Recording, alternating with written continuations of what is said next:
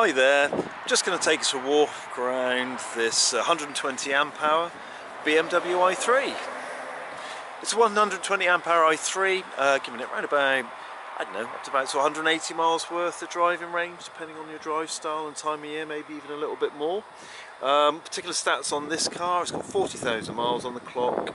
Uh, let's have a look. Uh, next service is not due until the middle of March next year and it's going to be going out with the fresh MOT so it's not going to need another MOT until June 2024 so yeah nothing to worry about for ages on this car. Um, this is really nice. It's got some nice spec uh, and it's coming in at an incredibly good value approachable price point uh, for a car of this sort of style and, uh, and driving performance. I'm just going to go around the car and I'll, I'll quickly point out any any little minor noteworthy marks. There isn't a great deal to point out and what there is is, is really quite quite tiny, quite minor, but um, no matter how small, make sure draw your attention to it.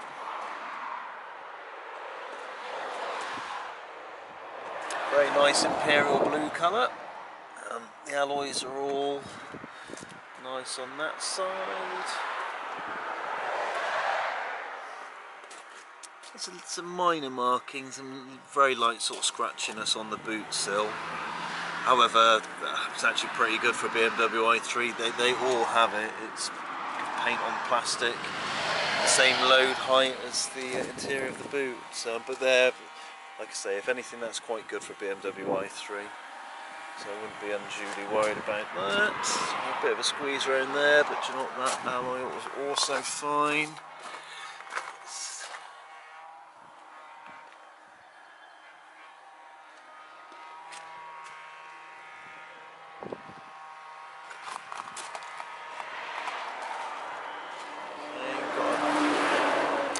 See a very minor sort of light sort of scratch mark there on the passenger side front wing.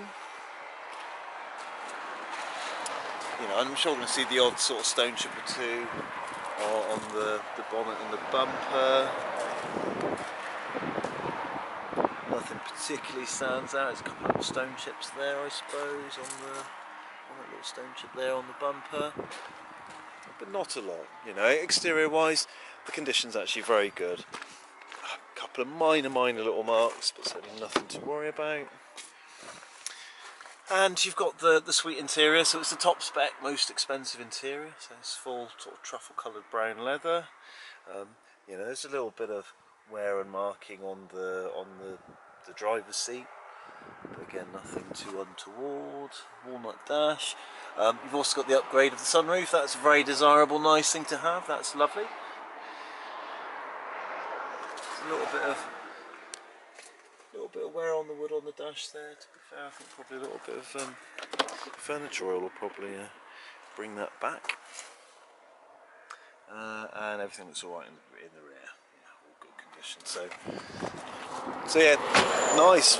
It's nice to have this car with leather and a sunroof at this kind of price point excuse me, uh, well guys that goes in the front, so there's a front where that goes, I'll put that in there. Um, it's a bit of a stain on the plastic in the boot, so the boot's obviously been well used. It's actually a nice practical boot. The seat's folded down, you've got a really nice big sort of flat uh, voluminous load space. Uh, and in that boot we'll of course be putting a 3 pin charging lead like we do with all our cars. So it will come supplied with a lead that you can plug into any normal main socket so you can charge the car from that. So you don't even necessarily need to get a charge point installed. And there you have it. If you're looking for a, a, a, a big battery BMW i3 with some very nice spec on it with that interior and that sunroof at a really, really good value price point and this could well be the ideal car for you. Um, it's here on the forecourt, ready for a test drive reviewing. Uh, alternatively, we can deliver this car straight to your home. Thank you very much for watching. Be sure to um, check out our, uh, our BMW i3 content on our website and our YouTube channel. Hopefully you'll find those videos helpful and hopefully we'll speak to you soon.